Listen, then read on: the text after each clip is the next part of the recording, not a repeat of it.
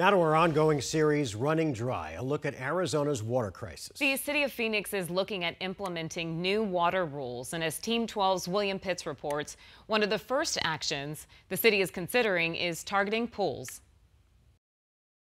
So far, water conservation in the city of Phoenix has been all about education, not actual regulations.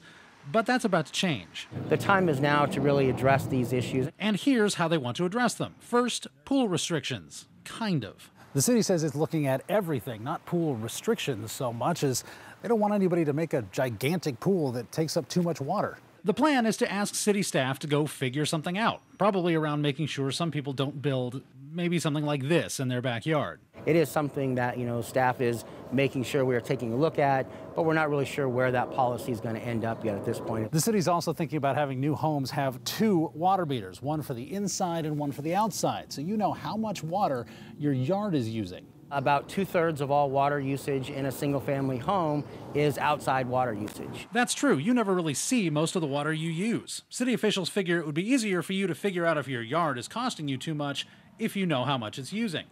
Two water meters would let you do that. And third, the city wants to talk to big water users, big businesses like TSMC, the microchip plant being built in North Phoenix. The city wants to see if those big water users can find ways to use less.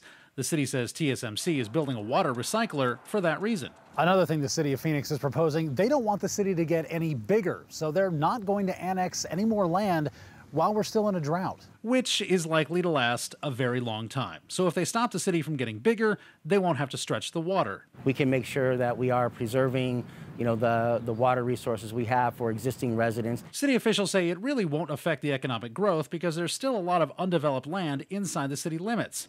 All those plans are set to be presented to the city next week. William Pitts, 12 News.